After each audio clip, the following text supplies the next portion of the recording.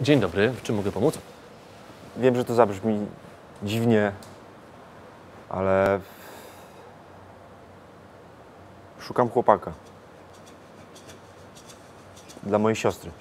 Pracuje pan w solidnej firmie na stanowisku. Ma pan kogoś? Nie rozumiem, dlaczego pan do mnie z tym przychodzi. No, musi być pan inteligentny.